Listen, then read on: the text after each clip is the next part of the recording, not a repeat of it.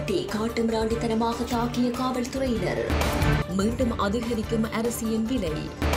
ஜெனீவாவில் தப்பிக்க இந்தியாவை வளைக்கும் கோட்டாபய மின்சார சபைக்கு எரிபொருள் விநியோகம் விதிக்கப்பட்டது நிபந்தனை. மூட நம்பிக்கைகளை நம்பி ஏமாந்து விடாதீர்கள் பொதுமக்களுக்கு முக்கிய அறிவிப்பு. மாணவர்களுக்கான தடுப்பூசி தொடர்பில் வெளியான தகவல்.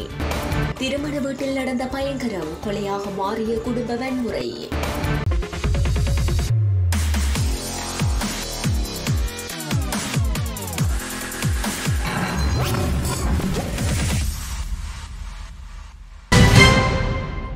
வெல்வெட்டித்துறை காவல்துறையினர் காட்டு பிராண்டித்தனமாக தாக்கியதில் இருவர் பருத்தித்துறை ஆதார வைத்தியசாலையில் சிகிச்சைக்காக அனுமதிக்கப்பட்டுள்ளனர். வல்வெட்டித்துறை காவல்துறை பிரிவிற்கு உட்பட்ட கருணவாய் வடக்கு கொற்றாவத்தை பகுதியில் சனிக்கிழமை இரவு இந்த சம்பவம் இடம்பெற்றுள்ளது. வல்வெட்டித்துறை பகுதியில் அண்ணன் தம்பிக்கிடையில் முரண்பாடு ஒன்று இடம்பெற்றுள்ளது. குறித்த முரண்பாடு தொடர்பாக கடந்த சனிக்கிழமை வல்வெட்டித்துறை காவல்துறையினரிடம் சகோதரன் ஒருவன் முறைப்பாடு செய்துள்ளான். இதன் பின்னர் சனி இரவு ஏழு நாற்பத்தைந்து மணியளவில் குறித்த முறைப்பாட்டாளரின் எதிராளிகளை தாங்கள் சந்திக்க வேண்டும் என்று அழைத்து சரமாரியாக தாக்கியுள்ளனர். இதில் குலசேகரம் மிதுலன் என்பவரே அந்தரங்க பகுதியில் காவல்துறையினர் மிதித்ததாக தெரிவித்து பருத்தித்துறை ஆதார வைத்தியசாலையில் சிகிச்சை பெற்று வருகின்றனர். மேலும் அப்பகுட்டி வசந்தன் என்பவர் காவல்துறையினர் தாக்கியதில் காயமடைந்த நிலையில் சிகிச்சைக்காக அனுமதிக்காது காவல் தடுப்பு காவலில் தொடர்ந்தும் வைத்திருந்தனர். இந்நிலையில் உறவினர் ஜல் மாவட்ட காவல்துறை பொறுப்பதிகாரியின் கவனத்துக்கு கொண்டு சென்றதை அடுத்து அவரும் நேற்று காலை பருத்தித்துறை ஆதார வைத்தியசாலையில் சிகிச்சைக்காக காவல்துறையால் அனுமதிக்கப்பட்டுள்ளார். அரிசிக்கான கட்டுப்பாட்டு விலை ரத்து செய்யப்பட்ட நிலையில் நாடு முழுவதும் பல பிரதேசங்களில் நாட்டரிசியின் விலை அதிகரித்துள்ளது. கடந்த வாரம் நூற்றி தொண்ணூறு ரூபாவிற்கு காணப்பட்ட ஒரு கிலோகிராம் நாட்டரிசி இன்று இருநூறு ரூபாவிற்கு விற்பனை செய்யப்படுகின்றது. அடுத்த வாரம் மேல் விலை அதிகரிப்பதற்கான சாத்தியமுள்ளதாக அரிசி ஆலை உரிமையாளர்கள் தமக்கு அறிவித்துள்ளதாக வர்த்தகர்கள் தெரிவிக்கின்றனர். இதேவேளை மரக்கறி விலைகளும் மீண்டும் அதிகரித்துள்ளமை குறிப்பிடத்தக்கது. ஐக்கிய நாடுகள் மனித உரிமை பேரவையின் எதிர்வரும் அமர்வில் இலங்கைக்கு பாதுகாப்பான நிலை ஏற்படுவதை தவிர்ப்பதற்காக அரசு தலைவர் கோட்டாபய ராஜபக்ஷ இந்தியாவின் ஆதரவுடனான இன நல்லிணக்க முயற்சிகள் குறித்து அறிவிக்கவுள்ளதாக அரசாங்கத்தின் சிரேஷ்ட வட்டாரங்கள் மேற்கோள் காட்டி கொழும்பு ஆங்கில ஊடகம் ஒன்று தெரிவித்துள்ளது.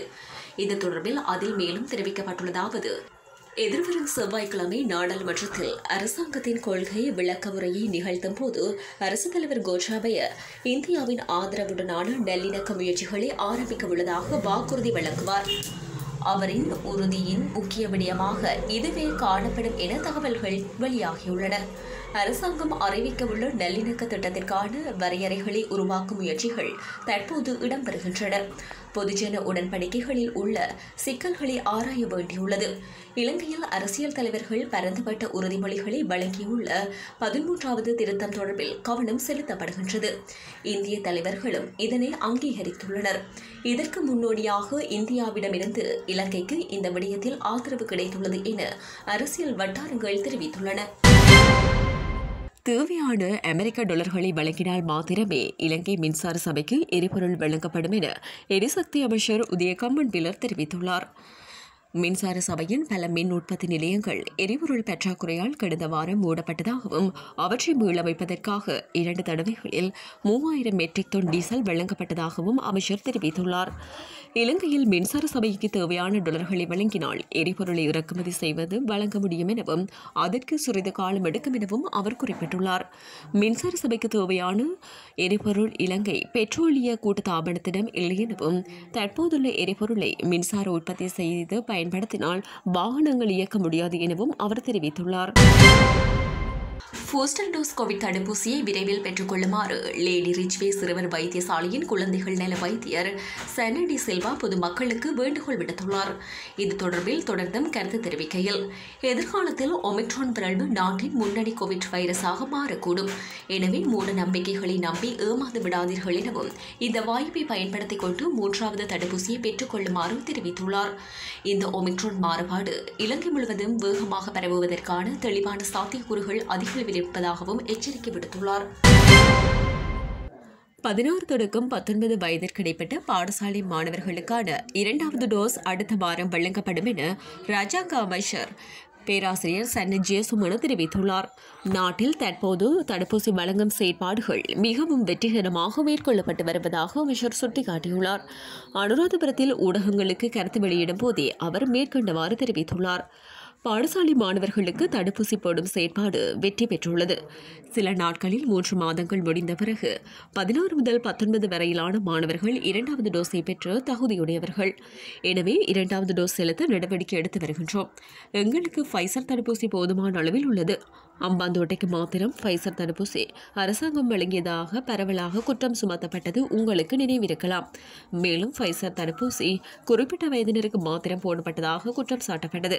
எனினும் மக்களின் கோரிக்கையான ஃபைசர் தடுப்பூசியை தட்டுப்பாடின்றி அனைவருக்கும் கொண்டு சேர்க்க நடவடிக்கை எடுத்துள்ளோம் என அவர் மேலும் தெரிவித்துள்ளார். தென்னிலங்கையில் இடம்பெற்ற திருமண நிகழ்வின் போது ஏற்பட்ட முரண்பாடு கொலையில் முடிந்துள்ளது. திச மகாரம விரகொல்ல பிரதேசத்தில் திருமண வீட்டில் ஏற்பட்ட குடும்ப பிரச்சினை காரணமாக நபர் ஒருவரின் கழுத்து நெரிக்கப்பட்டு கொலை செய்யப்பட்டுள்ளார். உயிரிழந்தவரின் மூத்த மகளின் கணவரினால் நேற்று மனைவியின் தந்தையின் கழுத்தை நெரித்து கொலை செய்யப்பட்டுள்ளார். சம்பவத்தில் ஐம்பத்தி நான்கு வயதுடைய படவுகம லொணுகம் வேகர பிரதேசத்தைச் சேர்ந்தவரே இவ்வாறு உயிரிழந்துள்ளார்.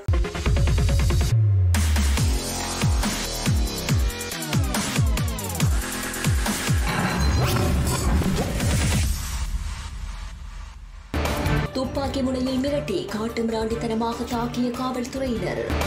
மீண்டும் அதிகரிக்கும் அரிசியின் விலை ஜெனீவாவில் தப்பிக்க இந்தியாவை வளைக்கும் கோட்டாபய. மின்சார சபைக்கு எரிபொருள் விநியோகம் விதிக்கப்பட்டது நிபந்தனை. மூட நம்பிக்கைகளை நம்பி ஏமாந்து விடாதீர்கள் பொதுமக்களுக்கு முக்கிய அறிவிப்பு. மாணவர்களுக்கான தடுப்பூசி தொடர்பில் வெளியான தகவல். திருமண வீட்டில் நடந்த பயங்கரம் கொலையாக மாறிய குடும்ப வன்முறை.